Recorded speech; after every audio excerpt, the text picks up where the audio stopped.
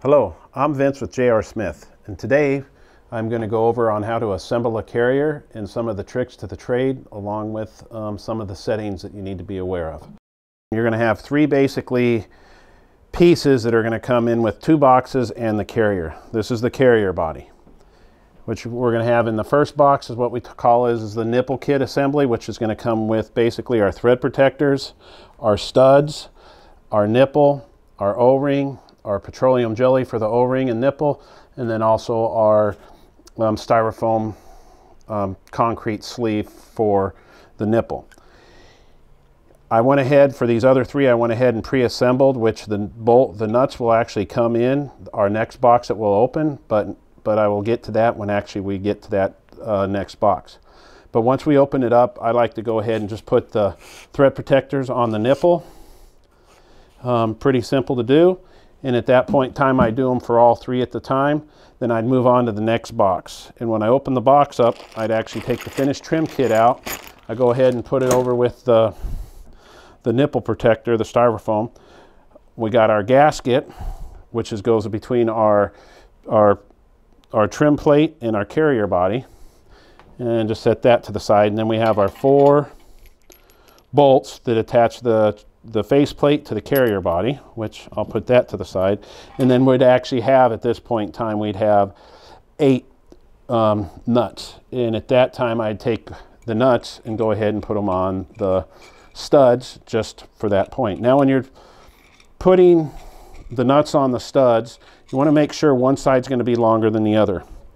So when we put this stud together, I have this much room so when we go through the carrier body, we're actually hanging out of the carrier body, which makes for a better installation and there's no chance of it being in here and come pulling out. Once we have that all done, the three tools that we would actually need is a 2x4, which is right here, and I'll show you why we use that. Basically, we use the impact wrench with a three-quarter drive. You could do that with just basically a socket set if you needed to on the job site. This just makes it real fast for an install. I like a flathead screwdriver thin, and what I do is I use that just to basically pull out our um, our thread protector in there. And there's only one of them in there because the other ones are, were actually filled with grease. So at that point in time, I just go ahead and flip this over, go ahead and pull out the the thread protector, which is pretty easily removed. Just go ahead and throw that there. I'll take our gasket, go ahead and put it on there. I line it up. Um, just make sure that we're all lined up, makes it easier. So actually when we saw the, install the faceplate, just so that you can see here, is we just want to make sure that the Smith is facing that we can read it, not upside down, and also the vent is here. The only reason I bring this up is I've seen these installed backwards before and had to actually have somebody go back and put it together. So at that point in time with our 2x4 and how it is, I just go ahead and put it on the wall, line it up, and then what I'll do is, is I just take my first bolt in here, and I like with my impact wrench just, so I just do the first, get the first one started, and then the next ones will go real easy to start and I set the impact wrench at a low torque rating so if there's ever an issue well when they actually have to set it and um, do the adjustments in the field to the final floor because you know the concrete's always not even it just makes it pretty simple for them to do. so you just tighten it all the way down and then what we'll do is and basically we've got the the finished the plate on and at this point in time, we go ahead and move and attach the studs to the faceplate.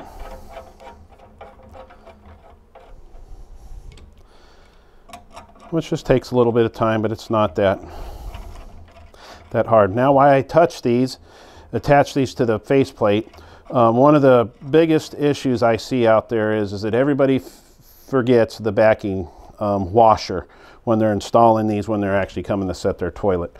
And they'll do is they'll just set this up against the wall without the backing washer and then you crush your tile, break your um, toilet or, or hurt your drywall. Um, I'll show you the backing washer here in one second after I have this done, but that's a, it's a very important piece when you're actually installing your toilet at finish at the finish time. And this is all that your backing washer is, is right here. Just the backing washer's right here, and it's just gonna go ahead and come in here. Say if we were here on our outlet, we just have this nut go all the way down, the washer goes in front, and then we just do our finish bolts on top of it which will hold the toilet in place. So that's where that's one of the biggest issues that we actually see that I see when I'm out there in the field. Now the next one is, is that we take our O-ring, we lubricate it. And I always like to make sure that we lubricate it. I already lubricated it once, but you'd make sure that you have really good lubrication on this. And then you just install it into the body of the faceplate. There's that ring. And if as long as we have enough lubrication and we have enough lubrication on our nipple, this makes a good seal. So when you're actually coming to do your pressure test, this will just seal right up for you. Makes your life very easy when you're doing your pressure test. Now, a couple of the other tricks that we actually have that I've seen um, is there is that at five and a quarter inches set on the leg length that we have, that'll give you 16 inches on your non-ADA toilet heights, and then seven and a quarter for your 18 inches on your ADA height.